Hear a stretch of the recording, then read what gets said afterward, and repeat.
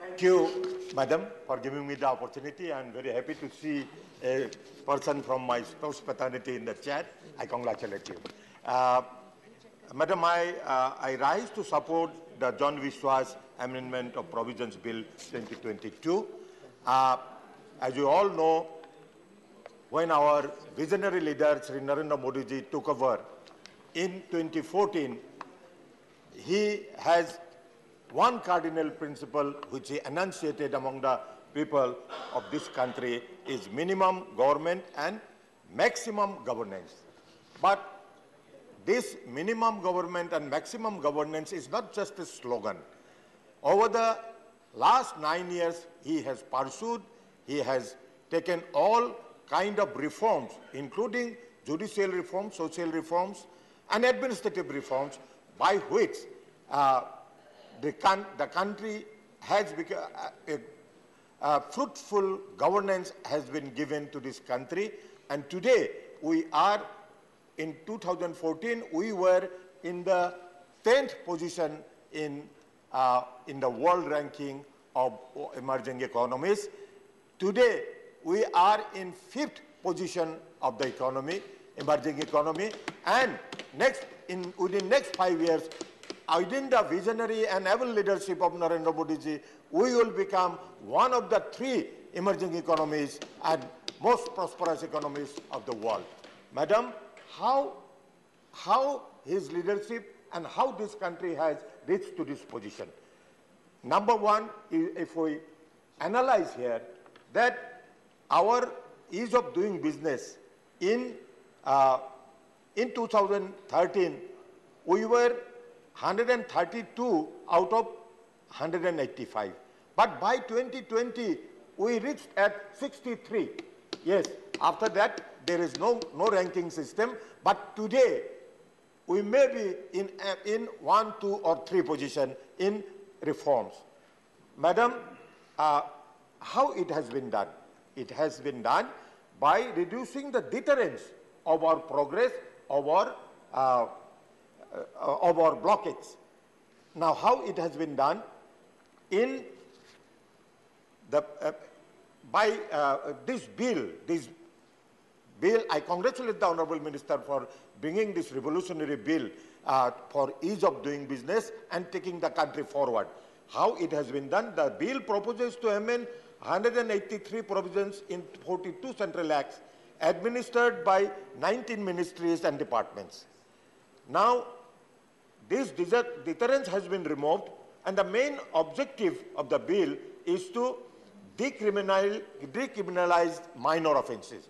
This is one deterrent that has been removed by this bill and the bill, uh, the need of the bill was to reduce the undue pressure on the judicial system to create a fair way of, to decide how strong the punishment should be for wrongdoing based on how serious the offense is. The bill uh, also plays an important role in the government uh, uh, to give maximum, govern, uh, maximum governance.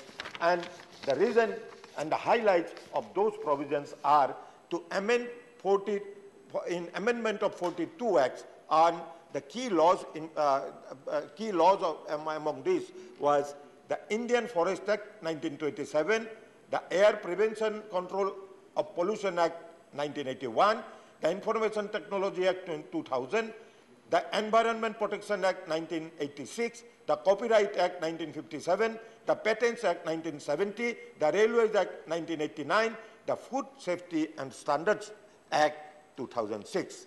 Now, how the decriminalization has been done? The bill decriminalizes, decriminalizes uh, certain offenses by replacing imprisonment with monetary penalties instead of a fine. Offenses under Information Technology Act 2000 can lead to imprisonment for imprisonment or fine. The bill introduces a penalty of, uh, a penalty up to rupees 25 lakhs.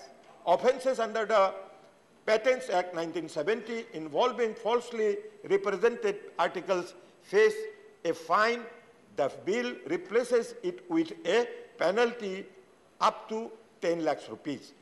Uh, the bill incorporated the committee system, the, as has been mentioned by uh, many com- uh, uh, some committee members of the joint committee, what all has been incorporated in this bill. So I, will, I am not going to repeat that. I only, I only want to uh, uh, uh, highlight one point that the fines and penalties of various offences in the specified act will be increased by 10% of the minimum amount every three years. The bill also introduces compounding of offences in some provisions so the offenders can settle their cases by paying a certain amount of amount without going through the court process. Now there are other uh, other provisions which can be appreciated like appointment of adjudicating officers and now what is the benefits of the bills? This bill has brought judicial re re reforms in a, in a system, uh, in a very uh, indirect system like with over 5.2 crore court cases pending in India, the highest in the world. This bill will help in reducing case pendency to some extent and facilitate a more efficient and effective justice dispensation. The bill also being referred to as the ease of business bill will foster trust-based governance by ensuring that, ensuring that citizens, businesses, the government departments operate without fear of imprisonment for minor, technical or procedural defaults. Madam, it would accelerate investment decisions due to smoother processes and attracting more foreign investment. I, I'm, uh, there are some other uh, suggestions in the bill. I'm not going to repeat that, but I will very well uh, express some of my concerns in this bill, which will, uh, which uh, Honorable Minister will uh, will uh, enlighten us uh, how this is, how this bill is going to overcome this. The issue number one is omission of offences under the Act. The bill removes certain offences from the Act.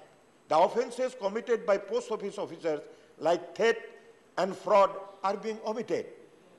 The relevance of these omissions of the bill's intent is unclear. I think Honorable Minister will throw some light on this.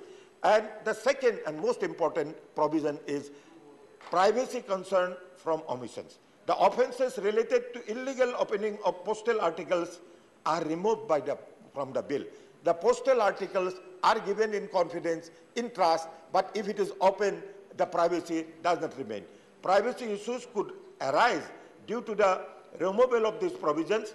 Personal data such as health insurance and credit card information may be compromised.